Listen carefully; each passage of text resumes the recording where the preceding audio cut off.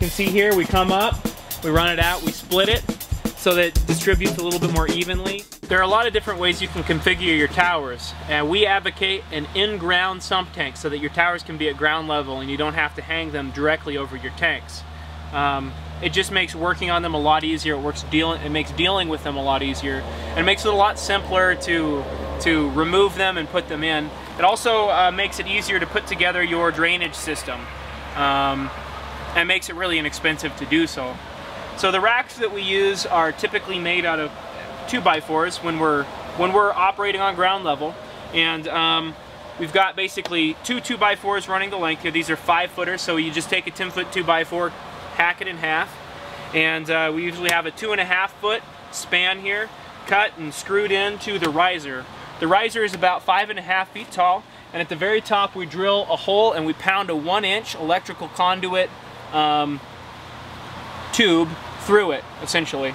And uh, so we use full 10 foot lengths of conduit, one inch, on one section, and then we'll slide a three quarter inch section of conduit into the end of it and do the next rack three quarter inch conduit.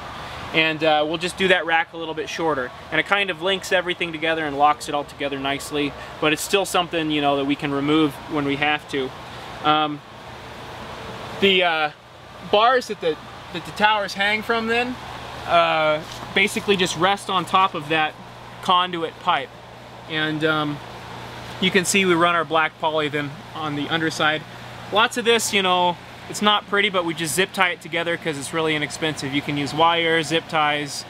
If you really want to get fancy and use conduit clamps, you can do that too. But we found that uh, these things really don't move once they're in place. And, uh, you know, zip ties work just fine, and they're cheap. To irrigate these towers, we have a one inch uh, feed line. So this is kind of our, our main feed that runs the length of the greenhouse. And uh, for really long runs, we'll hack it, cut it in half, and we'll do two lines off of the main pump to make sure that we maintain our pressure, that we don't have lower pressure at the very end and higher pressure, um, you know, closer to the pump.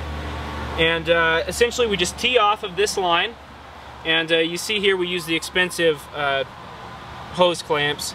You guys can use just the crimp style hose clamps if you want or if you're not running a whole lot of pressure you can just use a heat gun essentially to put uh, the, the poly pipe on the barbed fittings. But the, this, this poly tubing is really the, the cheapest way to go.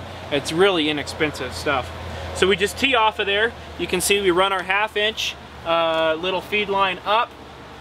Every little zone that we create, we put a valve on. And this allows us to change the pressure on the zone and uh, choke it down or give it more. The nice thing is we can crank this all the way up and blow everything out because we've got really high pressure.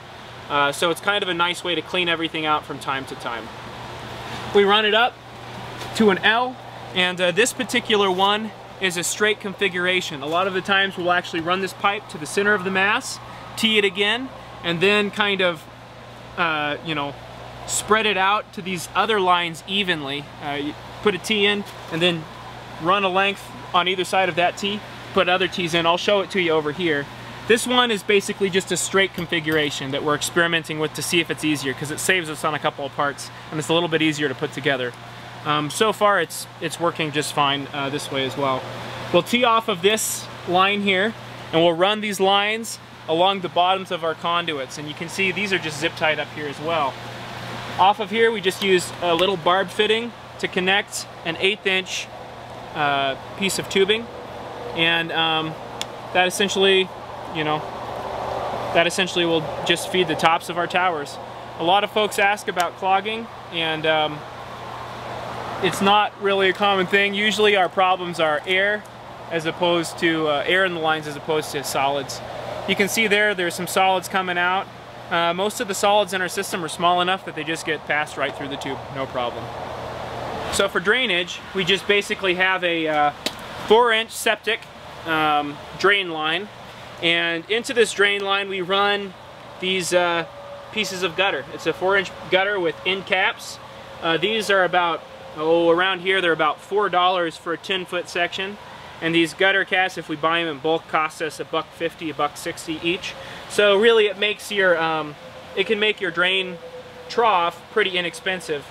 We drill a hole in the end, you can see here, we drill a hole in the end of this trough and uh, we basically just put a fitting, a threaded fitting. It's uh, I think that's three quarter inch to one inch uh, fitting, and we, then we drill another hole here. That's about a one quarter inch, one and a quarter inch hole with a hole saw, and our our troughs just basically rest right in our drain line there. It's a really inexpensive way to do it, and it works really well. I do recommend going with a three quarter inch as opposed to a half inch. It will make your life a lot easier and reduce the amount of times you have a clog. So you'll notice in a lot of our videos that we whitewash our framework and that's just basically to reflect light. Um, we just use a lime wash. It's just kind of a traditional whitewash. It's non-toxic. If it falls in the water, it actually kind of supplements the system nutrition. Um, besides that, over here I just wanted to show you how we configured these ones. And again, we had a lot of these on hand, so we used them. These aren't always the most economical option, these, these hose clamps. But uh, you can see here, we come up, we run it out, we split it, so that it distributes a little bit more evenly and we get a little bit more uh, evenness and pressure across the whole mass. And you can see this is a larger mass. We've got, let's see, one, two, three, four, five. We've got five columns on here. Um, so we, we, we want to distribute this, this uh, pressure pretty evenly. We split it and then we just run our tees off of that split line. So if you're interested in, in towers, uh, check out our store. It's on our website. Or uh, if you're interested in larger kind of commercial quantities, we can bring that price down a lot. Shoot us an email and uh, we can work something out. You want to be careful to match the fish to the location, to the environment, to the resources you have available.